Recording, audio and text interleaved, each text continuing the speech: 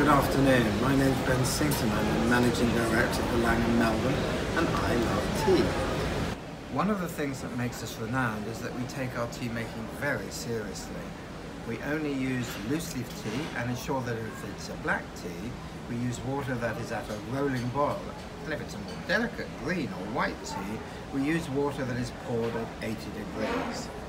All of our team of tea sommeliers at Aria Bar and Lounge have undertaken an eight-hour course in the art. I do hope you can join us. I wish you all a very festive season.